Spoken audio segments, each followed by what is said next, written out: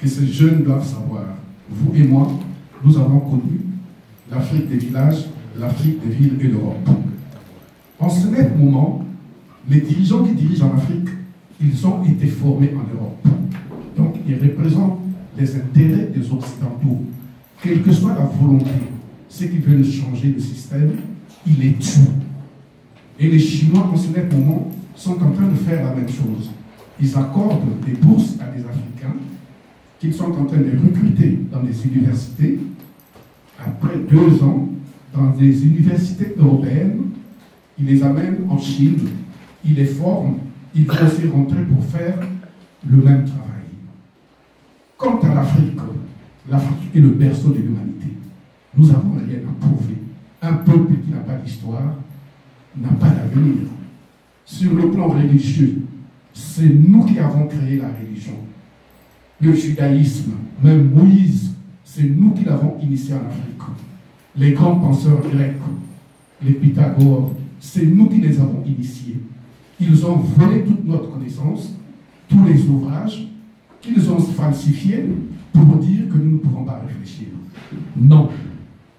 Nous avons la capacité de réfléchir et de créer, mais ils ne nous donnent pas la possibilité.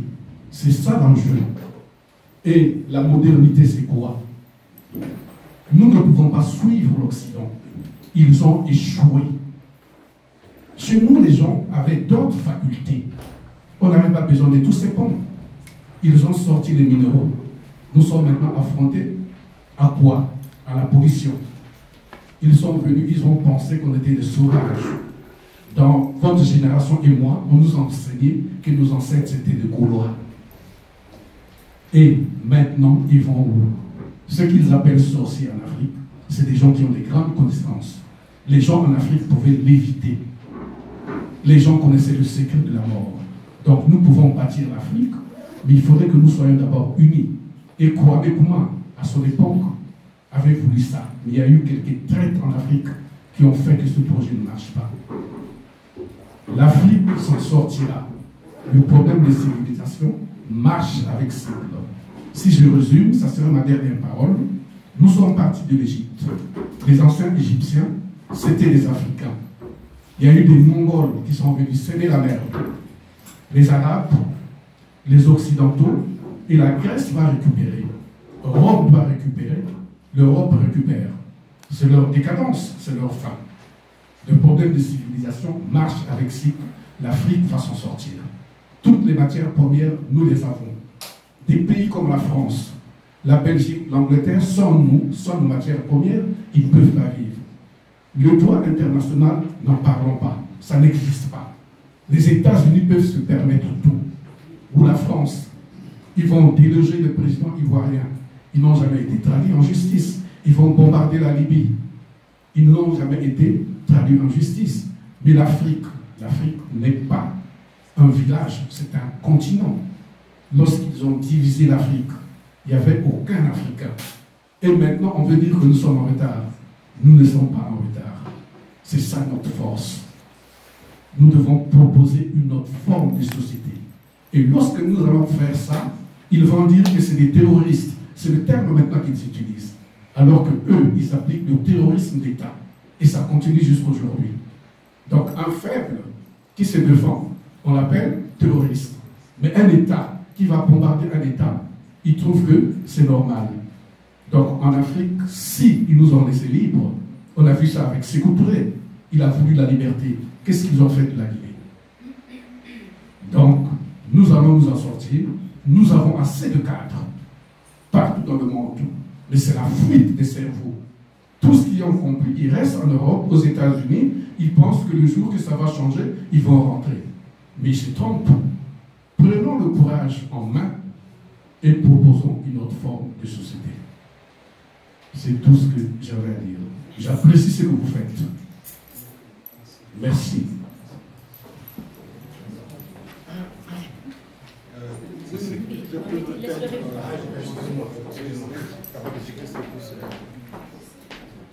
Oui, oui, je, réponds juste par euh, deux mots. Hein.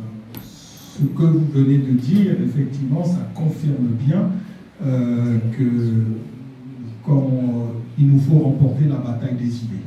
Quand vous dites il faut absolument qu'on propose une autre forme de société, euh, c'est la bataille des idées. Et je crois qu'il faut que l'on dise ça parce que trop souvent, euh, quand on évoque nos problèmes, on parle de tel et tel et tel problème. En vérité, le véritable problème, c'est cela. Que pouvons-nous proposer comme projet de société? Et pour ça, nous devons gagner la bataille des idées. Et malheureusement, chez nous, on n'est pas conscient de ça.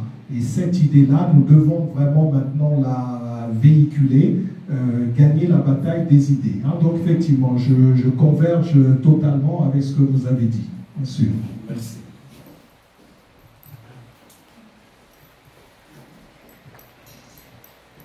Oui, euh, bonjour ou bonsoir. Euh, voilà, je m'appelle Oum, donc je viens du Cameroun. Euh, ma question, je, voulais d'abord vous remercier d'avoir pris le temps, vraiment très sincèrement, de, vous édifier aujourd'hui. Euh, moi, j'ai gagné en connaissance. Et puis, j'ai aussi, euh, m'avait apporté beaucoup cet après-midi en ce qui concerne justement cette approche euh, par la politique aussi. Je suis tout à fait d'accord que en fait, pour moi, en fait, le plus gros, notre plus gros challenge aujourd'hui, c'est la bataille des idées. C'est vraiment ça. Et euh, ma question, en fait, concerne, il y a un point qui me dérange, pas dans votre intervention, c'est que tout ce que vous avez dit soulève en moi une question, c'est la question de la langue. Comment est-ce qu'on peut arriver à définir, par exemple, la notion de l'État? Qu'est-ce que c'est que l'État? Si on définit l'État tel que les Français le définissent. Est-ce qu'on arrive? Pas C'est vrai qu'on a plusieurs langues en Afrique, hein. il, y en a des, il y en a des centaines, plusieurs centaines. Est-ce que chaque région ne pourrait pas, par exemple, à travers ses élites ou ses penseurs, ses libres penseurs, définir qu'est-ce que c'est que l'État d'après telle ou telle communauté? Dans sa langue La notion de démocratie, je suis pas ça, le Cameroun démocratie ne veut rien dire pour moi, par exemple. Euh, si je prends un exemple euh, chinois, euh, aujourd'hui, je ne sais pas si beaucoup d'entre nous savent ce que c'est que la ceinture et la route. C'est l'idée du développement d'après le paradigme chinois. Mais est-ce qu'on arrive chez nous aujourd'hui à définir quelque chose qui ressemblerait ça, mais je vais dire pour créer une communauté de destin. Donc, bâtir par exemple des concepts logiques d'après notre propre paradigme africain C'était, un petit peu ma question.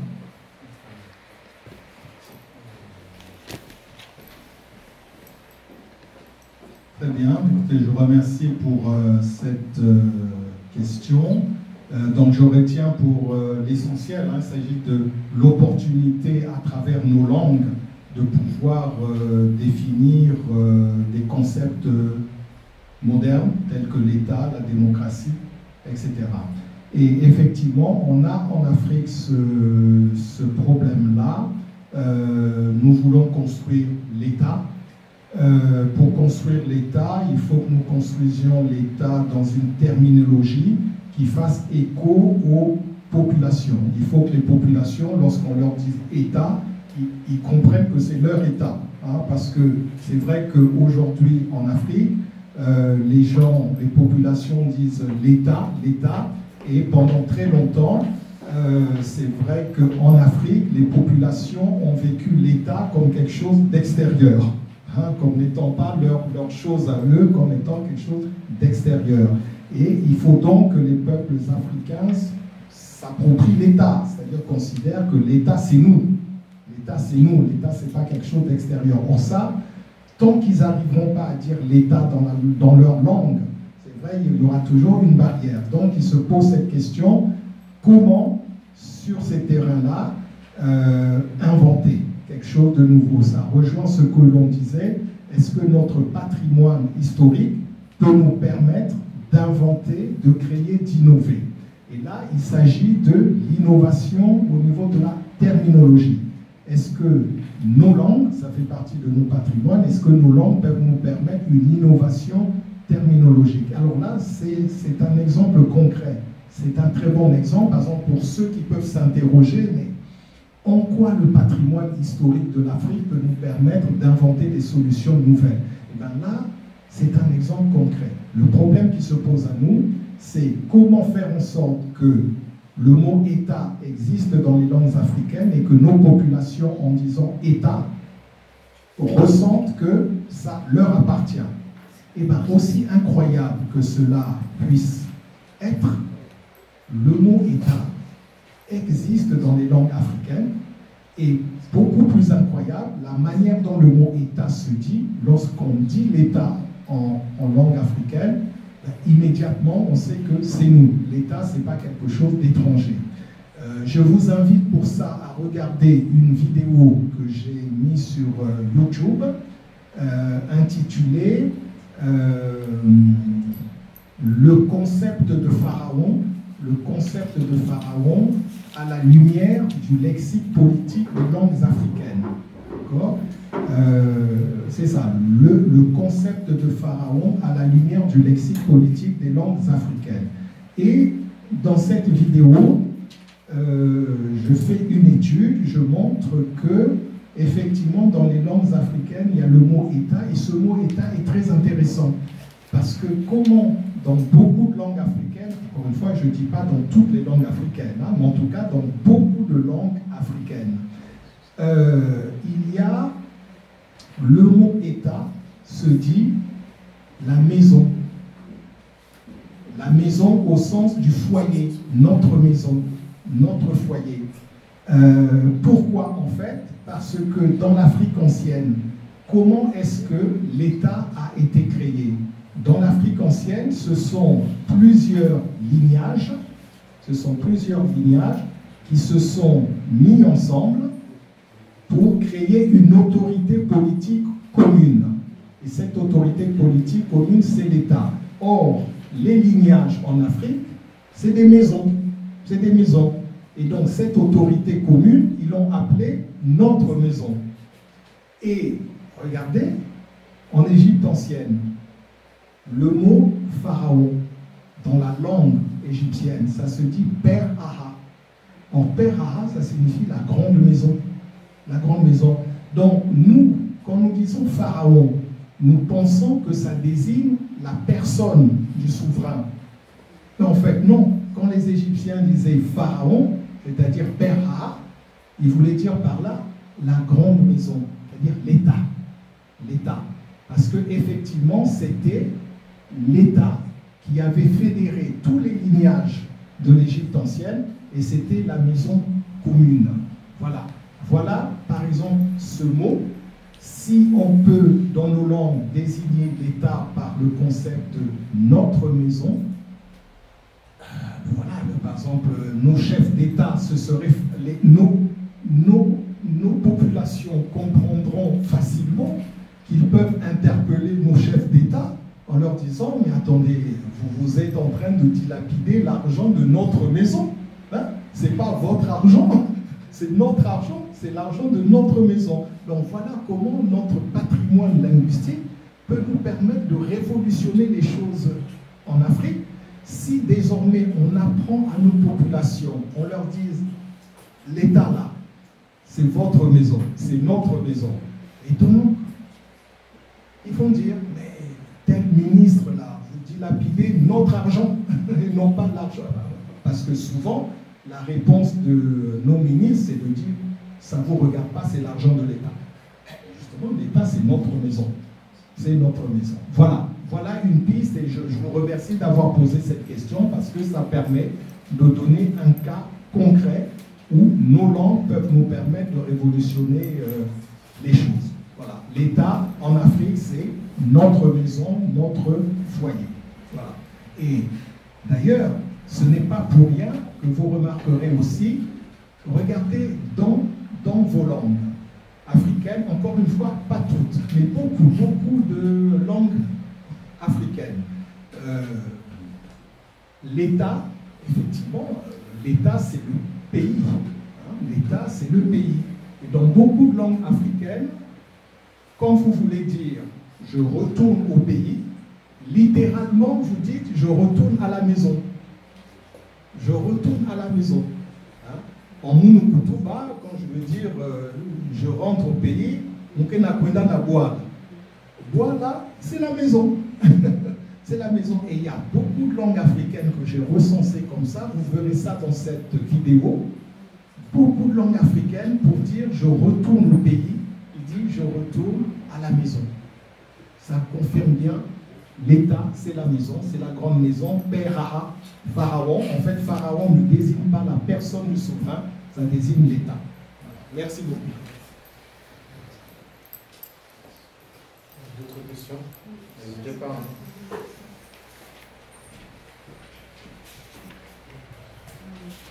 Merci, professeur. La question que moi j'aurais, c'est comment contourner finalement le pouvoir des armes, on va dire, dans la mise en œuvre de certaines euh, politiques de, de renaissance aussi dans le pays. Le pouvoir des armes et puis le pouvoir économique aussi.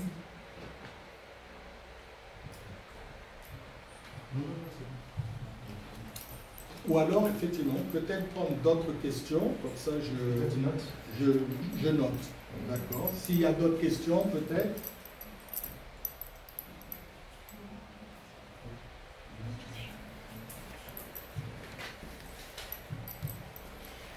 Euh, professeur, moi je voulais revenir euh, sur euh, la religion.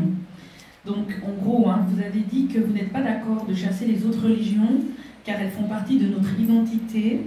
Ces religions ne permettent pas, non pardon, qu'elles font partie de notre identité, excusez-moi.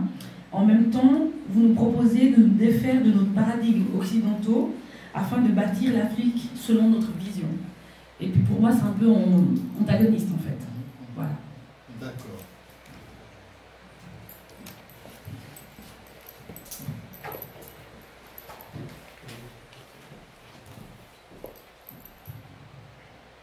Bonsoir et merci pour la conférence. Euh, j'aurais une autre question par rapport à la machémologie. Vous avez expliqué que c'était une grille de lecture qui était plus pertinente que l'évolutionnisme social. Et justement, je voulais euh, savoir un petit peu plus en quoi est-ce que c'était plus pertinent parce que est-ce que c'est pas nouveau euh, une grille de lecture qui ne nous appartient pas à la base, qu'on va encore utiliser autant que l'évolutionnisme social, donc elle pourrait peut-être peut-être aussi avoir des biais. je vais déjà répondre à ces trois questions. Comme ça, comme ça la mémoire est, vive. Alors, euh, la question a été posée de savoir comment contourner le pouvoir des armes. Euh, alors, c'est une question euh, fondamentale, bien sûr. Euh, dans l'Afrique d'aujourd'hui, les armes sont présentes. Et quand nous voudrons bâtir une Afrique nouvelle, les armes seront présentes parce que l'Afrique telle qu'elle est, actuellement, elle nourrit beaucoup de gens. Hein. La manière dont l'Afrique est exploitée aujourd'hui, etc., beaucoup de gens se nourrissent de cette Afrique-là. Euh, et donc ces gens-là se dresseront, forcément, ils se dresseront contre le projet de la Renaissance africaine. Et donc par conséquent, la question des armes est une question fondamentale que, que je n'ai pas abordée parce que justement c'est difficile à répondre à cette question. C'est difficile de, répondre à cette question parce que notre premier réflexe devrait être d'éviter tout affrontement armé. Parce que si nous voulons construire, pour construire l'Afrique de demain, nous n'avons pas besoin de martyrs. Nous avons besoin de gens vivants qui vont nous aider à construire. On n'a pas besoin de martyrs. Donc on ne doit pas provoquer des guerres, des luttes armées, etc. Donc ça, ce doit être notre option être contre tout mouvement armé, toute prise d'armes, etc. C'est pour ça que tout à l'heure j'ai parlé de cette nécessité de conquérir le pouvoir par les élections. Voilà, hein, nous devons nous investir dans les élections actuellement en Afrique, élections municipales, euh, législatives et présidentielles, pour pouvoir conquérir le pouvoir par la voie pacifique. Il y a déjà eu assez de morts en Afrique. Voilà, en fait, c'est ça. Déjà eu assez de morts, on ne peut pas se permettre ça. Et donc, je préconise cette voie de la conquête pacifique du pouvoir. Mais, j'avoue, j'occulte la question des armes. Euh, je l'occulte euh, de manière hypocrite. Parce que il faut l'affronter. Il faut l'affronter. Est-ce qu'on pourra faire l'économie d'une guerre, d'une guerre contre ceux qui vivent aujourd'hui de l'exploitation de l'Afrique On ne pourra pas en faire l'économie. Ça, c'est certain. Euh, donc, euh, ça, ça fait partie, par exemple, des questions qui pourraient être abordées dans le cadre de groupes politiques africains qui s'organisent réellement pour euh, avancer vers une renaissance africaine, ça, ça fait partie des questions secrètes à aborder. Ça fait partie des questions secrètes parce qu'effectivement, oui, je suis désolé de devoir le dire, on ne pourra pas éviter malheureusement l'affrontement armé, mais ça fera partie des questions secrètes qui devront être abordées. Et c'est dommage que nous devions passer par là, mais euh, je, vous avoue que volontairement, j'ai vécu ça dans mon esprit parce que je n'ai pas de solution face à ça et je pense qu'il n'y a pas de solution. On devra s'armer, c'est vrai, on devra le faire. En tout cas, euh, merci pour cette euh, question qui, permet à tout le monde de prendre conscience de ça, bien sûr. Euh, alors, concernant la question de l'antagonisme que je dis, il faudrait, pour cette nouvelle Afrique, il ne faudrait pas rejeter le christianisme, il ne faudrait pas rejeter l'islam, et en même temps, je dis, il nous faut faire un paradigme nouveau. Il nous faut changer de paradigme. Euh, c'est vrai qu'il y a une contradiction. Il y a une contradiction parce que euh, Peut-on changer le regard que l'islam a sur euh, la culture africaine autochtone? Peut-on changer le regard que le christianisme a sur la culture africaine autochtone? Euh, Il y a un, prêtre euh, africain qui s'appelle Kamana, qui est un intellectuel brillant. Un